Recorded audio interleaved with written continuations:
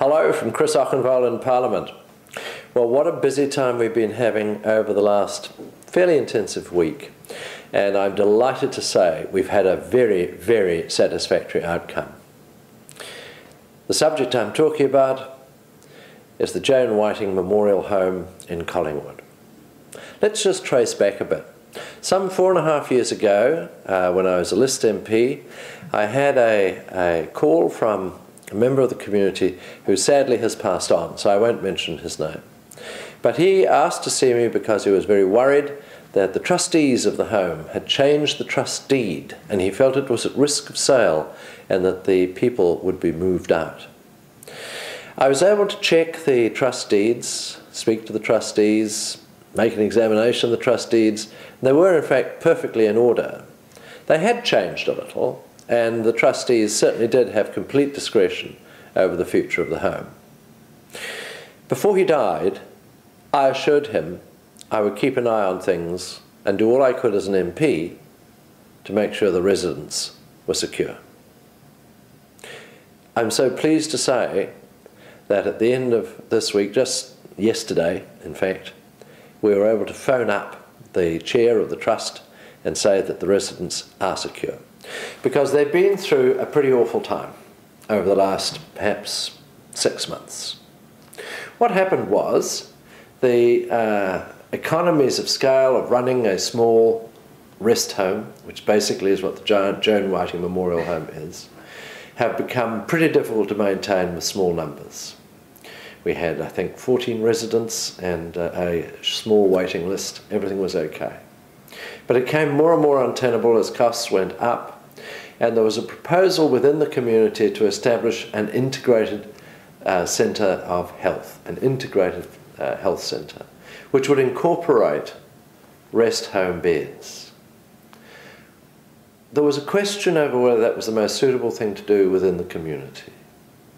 There were moves made, very well intentioned, to preserve the Joan Whiting home in its current situation, current form, so that it would go on pretty much ad infinitum.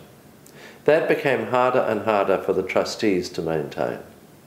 They were placed in the very difficult position of deciding that they may have to close the home. The purpose was initially to build the integrated health centre to coincide with the residents of the Joan Whiting home being able to move into it. And then uh, my contacts, who I've kept in touch with all the way through, and increased from time to time as different opinions come into play, explained to me that the finances were making it untenable for the home to continue, and there was still no local decision on exactly what form the integrated health centre should take. There are good reasons for that, I'm sure. There were difficulties associated with where it should be located, which land should be used, what costs were involved, and all that sort of thing. The backup and uh, support movement for the Joan Whiting home, I would have to say, had several aspects to it. There were one body of opinion wanted it to stay exactly as it is forever. Another body wanted it expanded in its present location. And a third group said that perhaps it should be maintained with some sort of bridging finance until such time as the new centre was established. I approached the Minister of Health on this issue when I saw it was building up. The difficulty was bridging finance simply isn't within the health budget in a simple form. Without being able to reassure the Minister or the Health Department officials that everything was underway for the development and build of the health centre, of the integrated health centre, I didn't really have a negotiating stand that was strong. We needed to be able to clinch a deal. And so, with the help, again, of people I've kept in touch with right through, with the help of the DHB, the chief executive there, I was able to build a case and take a proposal to the minister which basically said that the health, uh, the Joan Whiting uh, Memorial Hospital, its residents and its staff are in fact a critical, crucial uh, element of strategy for the new uh, integrated health centre to incorporate within its structure. In other words, and, and there's good credibility for this, in other words, if you want a health centre with residents, why are we sending the residents away while it's built? Let's keep them within the community and perhaps others will join them on a waiting list basis. Why were we going to lose or risk losing the already trained and qualified staff who could be automatically available, well, not automatically, but who could be available for the new integrated health centre when it was built? Why put the elderly residents, a delightful group of people, why put them under the strain of reassessment, consideration, and their relatives and under the imposed difficulty and concern of looking after their parents, perhaps as far away as Nelson. Why risk losing the trustees, who are a dedicated group of people and have expertise in healthcare uh, for the elderly? And so, on that basis, we needed a circuit breaker, and I'm delighted to say that the circuit breaker came early in the week when there was a measure of agreement between the PHO, District Health Board, and the interim um, committee for the Integrated Healthcare Centre.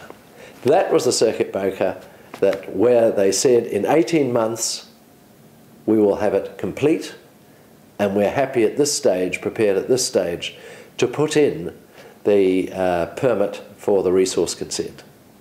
That was enough for me to go back to the minister to say it's clear that uh, the intention is there and they're not going to walk away from it. There was communication between um, the officials at the Ministry of Health and the DHB and I understand the Interim Health uh, Committee.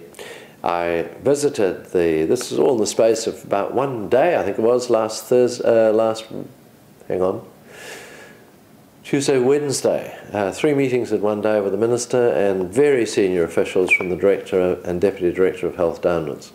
And um, I'm delighted to say that they felt, under the circumstances, that they could contribute to the finances of developing the, and the costs of developing the health centre to the extent that that would free up finances within the District Health Board, which could be utilised to maintaining the um, Joan Whiting Memorial Home with its present, re present residents and staff as part of the plan for integrated development. Uh, I phoned the uh, uh, Trust Chair, Chris Mitson, yesterday, and he very kindly, in a later conversation, said it was the happiest day of his life, that he had told the residents they were absolutely struck dumb and that I saw in the paper this morning they'd been popping champagne corks.